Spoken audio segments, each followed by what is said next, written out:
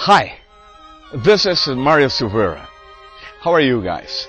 Uh, this is the tree, I, yeah, three to four years ago. I was sitting at a table here. There is a nice bench over there, bank over there, and uh, uh, I would say that the fruit that I called the existential quantum fell upon my mind. Uh, today I was reading this book here. Uh, let me show to you. It is uh, uh, okay. What's life? Um, Erwin Schrödinger. Everybody knows that this guy wrote some beautiful things about bringing together mind and matter. Um, it was a, a, very beautiful. I like it very much. I read it already twice, as uh, Steven Weinberg's uh, Dreams of a Final Theory. Anyway, I'm gonna read it for you. It's uh, uh and then I'm uh, just uh, uh, uh, uh try to reach Dr. Ed Witten.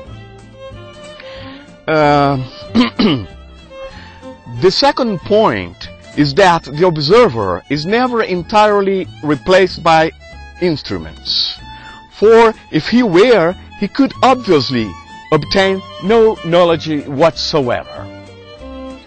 So, uh, here in this book, uh, uh, when I was reading this, I was really recording it.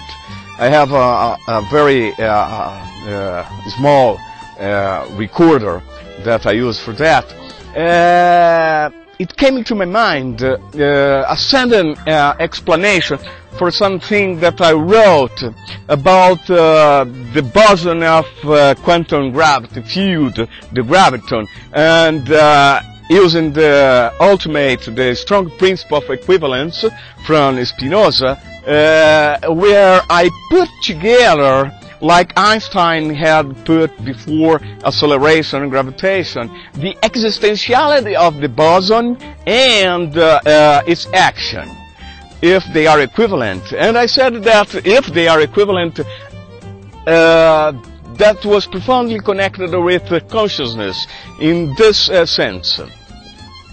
Uh, uh, and, and this I understood after here on page 162 I read uh, the this thing about uh, uh the knowledge that uh, uh, could not be obtained if we take out the observer as an instrument itself of measurement.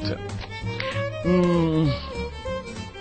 Before before I, I I, I finished this and I, and I explained why I said that the existentiality of the boson was uh, uh, equivalent of its action and this existentiality is given by our focus, our mind into it. The thing is this, um, uh, and that uh, it is the reason why I took, uh, I was uh, audacious enough, enough to bring it to this forum here about uh, Dr. Ed Witten quantum gravity, gravitational uh, uh studies.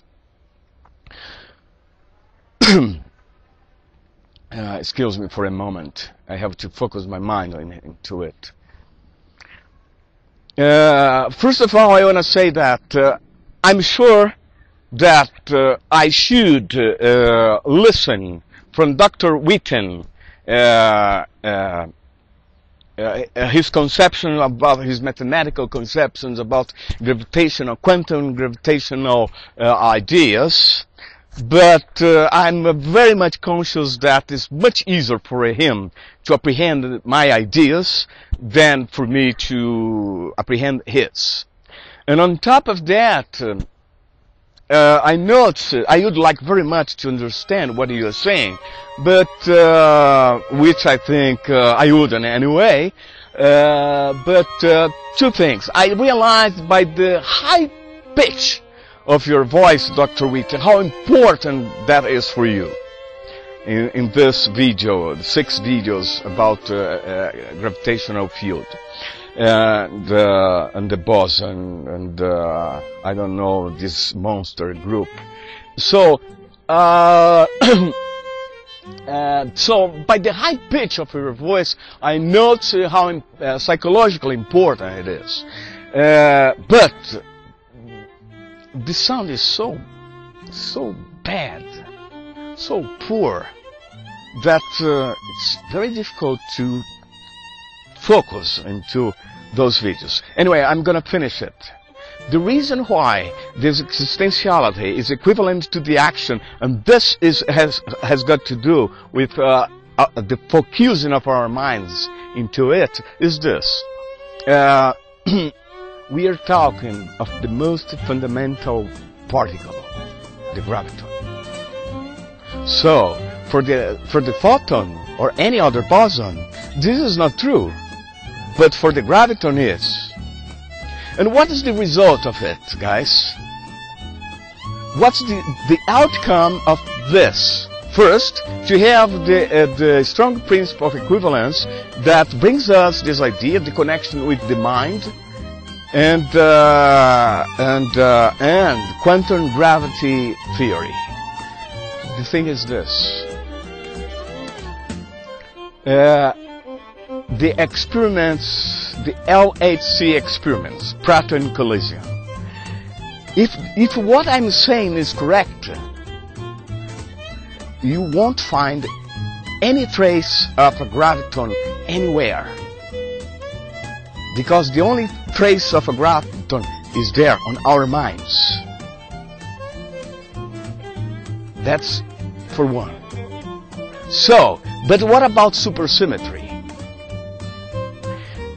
If that's correct, if you don't find the boson, the graviton there, then supersymmetry appears in the universe as the diversity in species.